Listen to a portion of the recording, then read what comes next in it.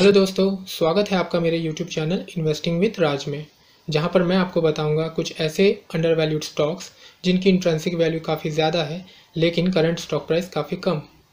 मैंने ये चैनल उन लोगों के लिए बनाया है, जो कि स्टॉक मार्केट में इन्वेस्ट तो करना चाहते हैं, लेकिन या तो वो नए हैं, या फिर उन्हें फंडामेंटल एंड टेक्निकल एनालिसिस के बारे में ज़्यादा मालूम नहीं है।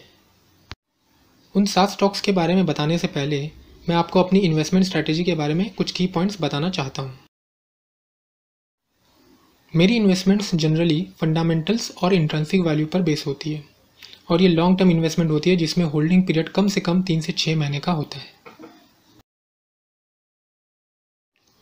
ये इन्वेस्टमेंट मेरे लिए सिर्फ़ एक पैसिव सोर्स ऑफ़ इनकम है, जहाँ पर मैं इन्वेस्टमेंट करता हूँ on the basis of fundamentals और रिटर्न्स का इंतज़ार करता हूँ।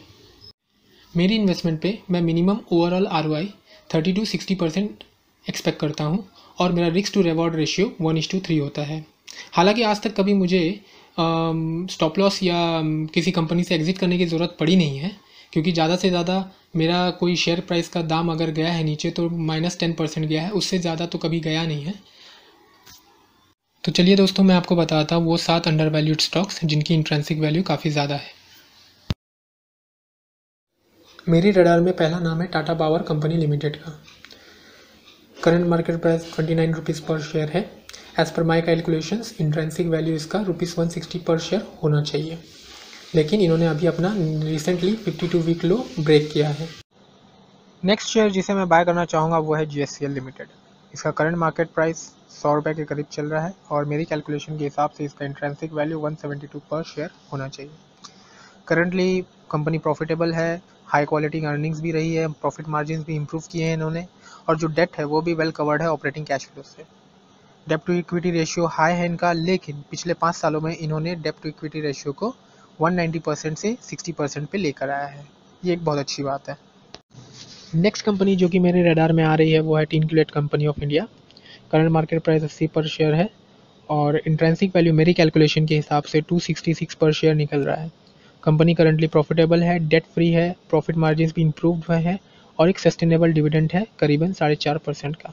तो मेरे हिसाब से टीन प्लेट बहुत अच्छा ऑप्शन है बाय करने के लिए।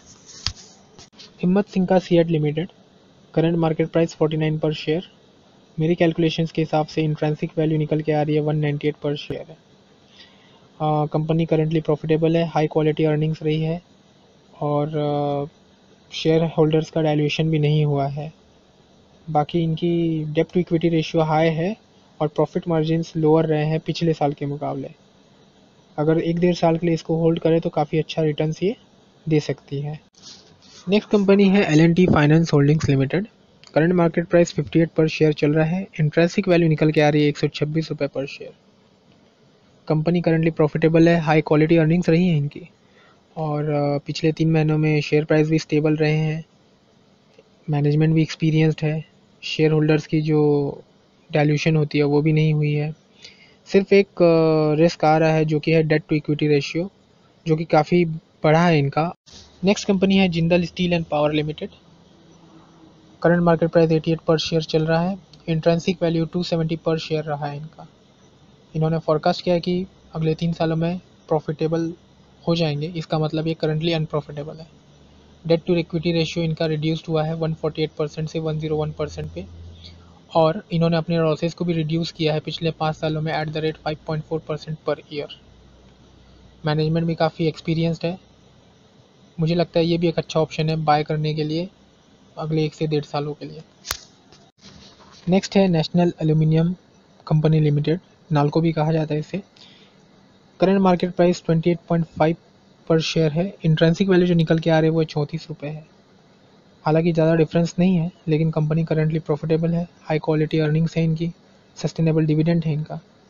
डेट लेवल काफ़ी लो है और debt to equity ratio 0.7 percent है, जो कि काफ़ी अच्छा है। कोई कंसर्निंग इवेंट भी नहीं है, सिर्फ़ प्रॉफिट मार्जिन जो है वो थोड़े कम रहे हैं पिछले साल के मुकाबले। बट ये भी एक अच्छा ऑप्शन है बाय करने के लिए और एक से डेढ़ साल में काफ़ी अच्छा रिटर्न्स दे सकती है ये कंपनी तो दोस्तों, ये थी वो सेवन कंपनीज़ जिसमें मैं इन्वेस्ट करने वाला हूँ। वीडियो के अंत तक बने रहने के लिए बहुत बहुत शुक्रिया। अगर आपको वीडियो पसंद आया तो आप लाइक एंड शेयर कर सकते हैं। साथ ही, अगर आप किसी और कंपनी की इंट्रेंसिक वैल्यू में रुचि रखते हैं तो आप मुझे कमेंट सेक्शन में भी बता सकते हैं। मैं हर हफ़्ते सेवन कंपनीज़ सजेस्ट करूँगा, जिनकी इंट्रेंसिक वैल्यू काफ़ी ज़्यादा होगी as compare to their share value तो आप प्लीज़ इस चैनल को सब्सक्राइब करिए। साथ ही बेल आइकन को प्रेस करिए ताकि आपको नोटिफिकेशन मिलती रहे। मैं इंस्टाग्राम पे भी हूँ, आप मुझे इंस्टाग्राम पे भी फॉलो कर सकते हैं। वहाँ पे आप मुझे डायरेक्ट कांटेक्ट भी कर सकते हैं। सो बाय टेक केयर